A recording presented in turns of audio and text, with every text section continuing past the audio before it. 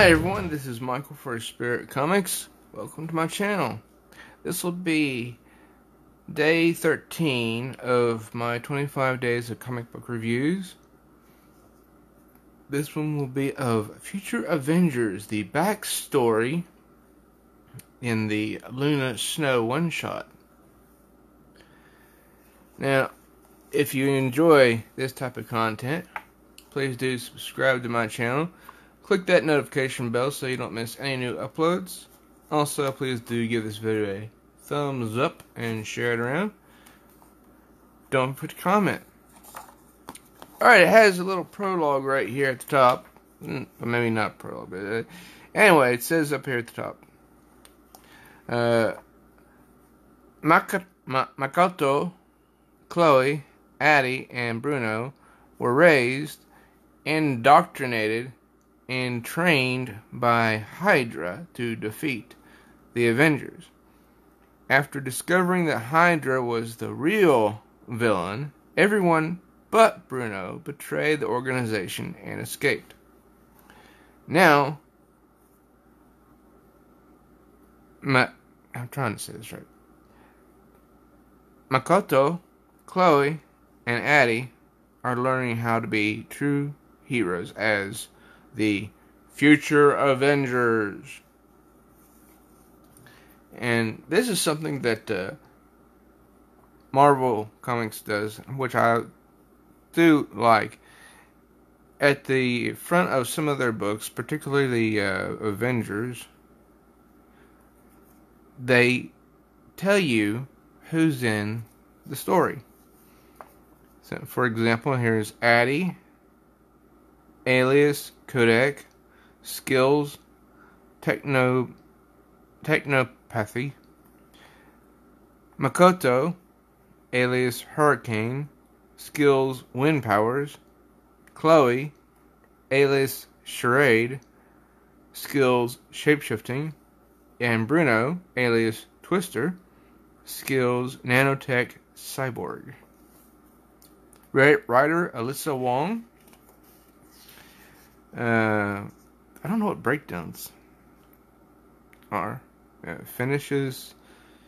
Uh, uh, colorist Donna Sanchez Amara. And letterer v, VC's Joe Sabino. Assistant editors Lindsey Cohick and Tom Groneman. Okay. I'm going to continue before I butcher any more names. So it, opens up at the present day at the Future Avengers Tokyo base where Chloe is trying to find something in Addie's room. He comes in and says, Find anything interesting? She's like, ah!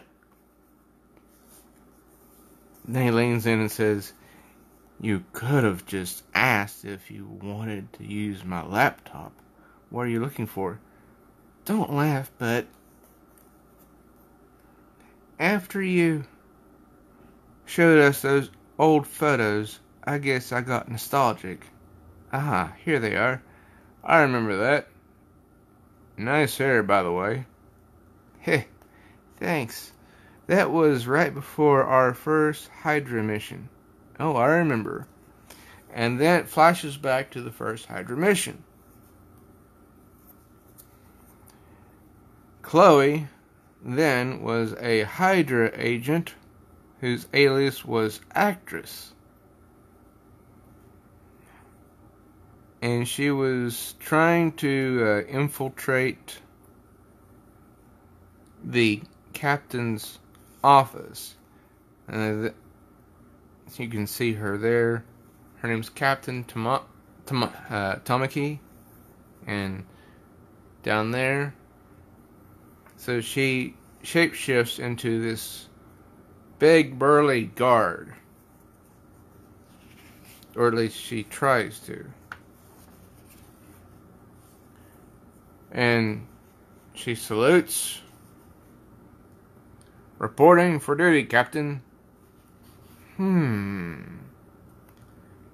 So the captain gets a little close and says, Chloe, your hair is showing. Oops. Sorry, Captain. And that would, you know, put a hamper on the situation. And then she proceeds to give her a lecture about how they how they've been over over that. She needs to focus because they're going on a their first mission in two days. She needs to be ready. And she has Anyway, what are you doing here? Aren't you late for training? Yes, Captain. Sorry, Captain. I'll go right away. And she was actually trying to retrieve something from the captain's office. So she meets up with Addie. And he says, How did it go? She's like, Don't ask. And and he says, It was the hair, wasn't it? It's always the hair.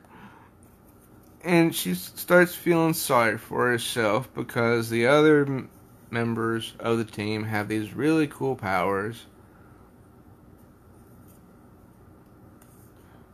And she requests the help of Addie.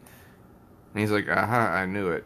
Only if you tell me why you were sneaking around in, outside Captain Tamaki's office. and she and and she says, you know, we leave for our first mission on Thursday. The captain said it's a, it's a test, but a cheat sheet never hurt anyone, right? Oh, that is so uh, that, is, that is so adorable. I think I remember using cheat sheets when I was in school.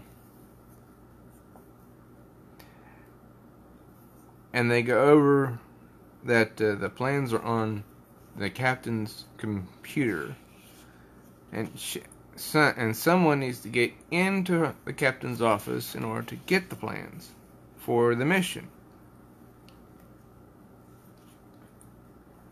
Addie knows that Chloe can do it without getting caught. And he shows her an invention. He's like a, a, a a Tony Stark. You know, before Iron Man Armored Adventures. Or, you know, or, or more or less after. Because that show is cool. He invents something called a quantum thumb drive.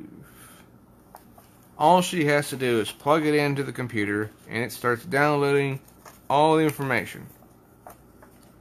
So, Miss I Can't Do Anything goes at it again. This time she shapeshifts into the captain. She walks and walks past these guards who salute her. Captain, ma'am. At ease. I can't believe that worked. Of course it did. You're a natural. See, uh, the I think the message just right here is you need to have a little bit of self confidence in yourself. You need to believe in yourself from time to time. And then she tells Addie that through a you know earpiece that the office looks different. Anyway, she inserts the quantum thumb drive and just as she does, A tells her that the uh, captain is returning. And when she does, she tells Addie to do something, you know, crazy. So he does and causes a fire alarm. And the download is progressing at 65%, then it's complete. And she's able to turn herself into a cat her her own cat, but it looks vaguely reminiscent of um, what was her name? The cat on uh, Mar on Spider-Man and His Amazing Friends. Oh, I, uh, Miss Lion. Yeah, Miss Lion. It, reminds me Miss Lion for some reason. Anyways, she's able to get back, and then that's when they introduce uh, Makoto, Hy- Hydra Super Agent in Training, and Bruno, Hydra Super Agent in Training. And then, know, it just, uh, Chloe says maybe I, I didn't need a cheat sheet after all, and that's the end. And I don't, it says here that next uh, Marvel Future Fight First will, will be Crescent 10. I guess it's this one. So I need to look that up. And there's also more uh, Future Fight First White Fox. That one looks interesting too. I'm gonna have to check these out. So that uh, that that was an interesting story of the future advent the future Avengers, which again looks like the same idea that they used for Luna Snow, which they probably got from DC Comics when they did Rebirth. They introduced the new Superman and then eventually created the Justice League of China in the new Superman book, which eventually was canceled. Anyways, I enjoyed that. I hope you did too. I am Michael for Spirit Comics. Thank you for stopping by. This has been day 13 of my 25 days of comic, comic book reviews. Till next time, true readers, may all your news be good news.